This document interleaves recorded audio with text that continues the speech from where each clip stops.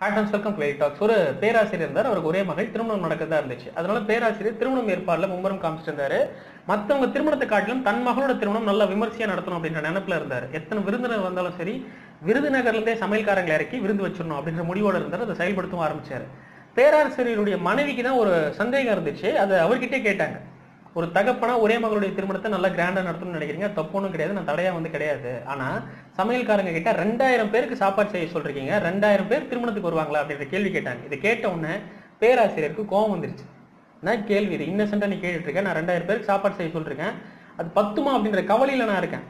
நீ என்னன்னா ரெண்டாயிரம் பேர் வருவாங்கன்ற கவலையில இருக்கேன். இங்க பாரு எனக்கு நினைவு தெரிஞ்ச நாள்ல இருந்து ரெண்டாயிரம் பேர்கிட்ட எனக்கு இன்விடேஷன் வச்சிருக்காங்க. உங்க வீட்டு ஃபங்க்ஷன் நல்லா தெரிஞ்சவங்க சொந்தக்காரங்க உங்க வீட்டு ஃபங்க்ஷனுக்கு ரெண்டாயிரம் பேர்கிட்ட எனக்கு இன்விடேஷன் வச்சிருக்காங்க. நான் யார் ஃபங்க்ஷனுக்கு போனது கிடையாது. ஆனா நண்பன் நாகராஜ் இருக்கான்ல அவன் கிட்ட மொய் பணம் கொடுத்து கிடையாது. ஒரு ஃபங்க்ஷன் நான் தவறு கிடையாது.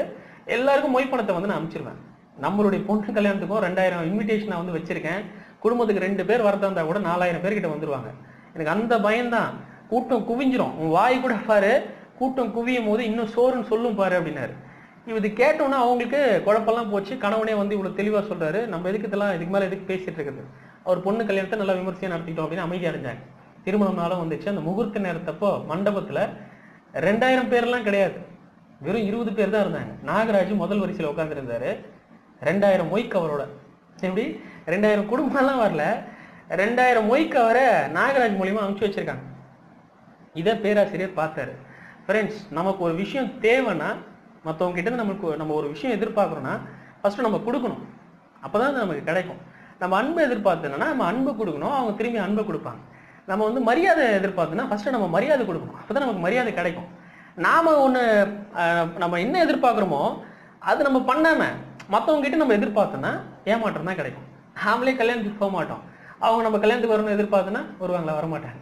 நாமளே மொய் தான் கொடுப்போம். அவங்களும் அதுதான் செய்வாங்க. ஸோ நீங்கள் என்ன பண்ணுறீங்களோ அதுதான் உங்களுக்கு வந்து கிடைக்கும். நீங்கள் பண்ணுறதை தாண்டி எதிர்பார்க்காதீங்க. ஏமாற்றம் தான் கிடைக்கும். இந்த கதை உங்களுக்கு பிடிச்சிருந்தா இந்த சேனல் சப்ஸ்கிரைப் பண்ணி லைக் பண்ணி கமெண்ட் பண்ணுங்க ஃப்ரெண்ட்ஸ்க்கெலாம் ஷேர் பண்ணுங்கள் மீண்டும் ஒரு ஸ்டோரியில் சந்திப்போம் ஃப்ரெண்ட்ஸ் பாய்